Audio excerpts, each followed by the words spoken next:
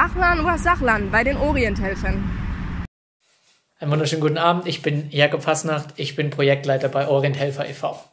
Ich bin seit ungefähr sechs Monaten bei dem Verein mit dabei, aber seit über zehn Jahren in der internationalen Zusammenarbeit tätig. Die wichtigste Frage natürlich zuerst. Ja, auch wir Orienthelfer haben im Homeoffice Hosen an. Der Libanon ist ein Land, das nun nach einer Wirtschaftskrise, einer Finanzkrise, nun von einer Corona-Krise gebeutelt wird. Das hat weitreichende Auswirkungen auf alle Sektoren. Unter anderem sind wie in Deutschland vor Ort alle Schulen geschlossen. Dadurch können wir auch unseren Betrieb in unserer Handwerkerschule nicht weiterführen.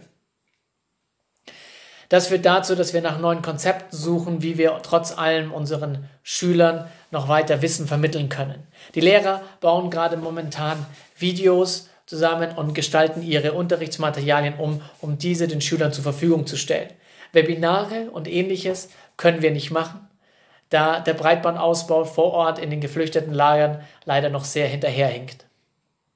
Die Schüler können dann diese Materialien herunterladen und zu Hause und ähnliches sich anschauen und weiterlernen.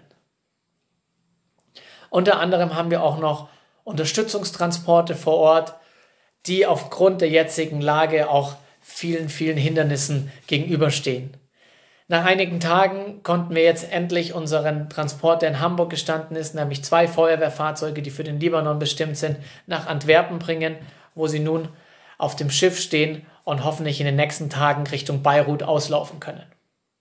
Ein weiteres Fahrzeug stand die letzten Tage in einer riesigen Schlange vor der irakischen Grenze, die wie so viele Grenzen komplett geschlossen ist. Durch viel Engagement und viel Einsatz von den Menschen vor Ort konnten wir nun das Feuerwehrfahrzeug über die türkische Grenze bringen und das Fahrzeug steht nun an der irakischen und noch ein wenig Papierkram und das Fahrzeug kann endlich an den angestammten Ort kommen und zwar zwei der größten geflüchteten Lagern im Norden von Irak.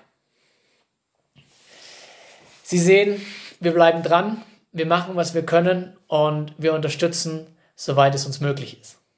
Ich wünsche Ihnen einen schönen Abend und bleiben Sie gesund.